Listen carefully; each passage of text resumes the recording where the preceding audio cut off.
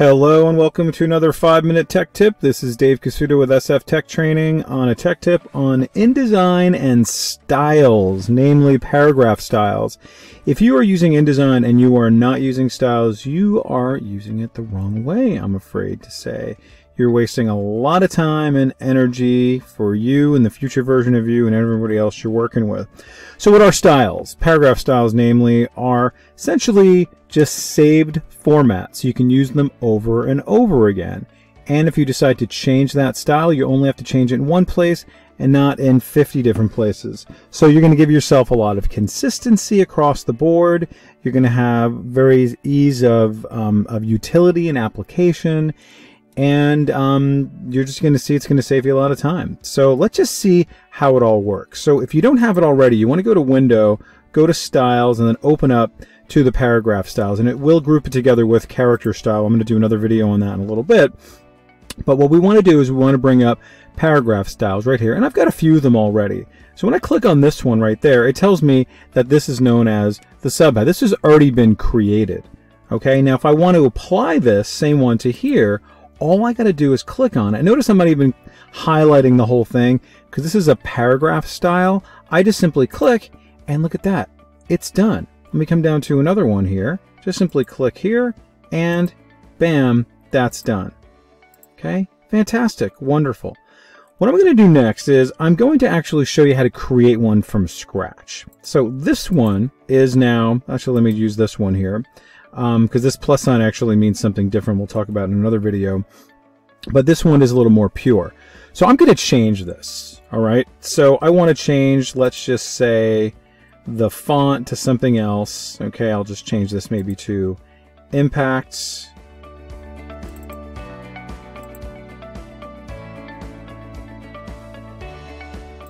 Okay, there that is. That's great.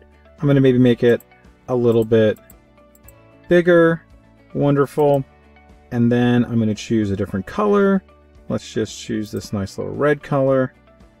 Okay, and there you have it. So I've made this. So what you typically want to do with styles is create it on the front end, meaning I'm going to show you what the back end looks like in a little bit, but you want to actually create it here inside of the document on the canvas. And then what you're going to do is you're going to essentially highlight this and tell InDesign to make a style based off of this. Okay. There's a million different styles. So let me show you this. If you notice over here in the bottom of the paragraph styles panel, there's this little icon there. If you hold down the Alt or Option key on the Mac, click on that and it will open up to your dialog box. If you don't click on the Alt or Option key, you're going to get like an extra thing that appears there. So it's going to be very confusing. So it's a nice little tip to do this. Okay, so I'm just going to call this subheading version 2. That's great. And look what over here it tells me all right, fantastic. This is all the stuff that I've created. There's impact, there's 21, there's the color CMYK, awesome. And then you'll notice there's a whole bunch of things here as well. Okay, so you will see that you can change everything here on the fly if you want to. This is just a basic video, so I just want you to see all the things that you might want to do. The paragraph rule, you might be wondering, well, how did he get that little line underneath there? That's known as a paragraph rule. So I could either turn it off or turn it on. I can you know, make it so this is going to be the rule below. And you can see that's why it's green. I can make that a little bit thinner. All right, that's great. And then maybe you're changing some of these other things. Maybe you're doing an entire paragraph. You want to do drop cap, or you want to work with bullets and numbering, things like that. All right, so this is all good to go. I'm going to click OK. And now, there it is. Okay, let me come back to that again. Double click it.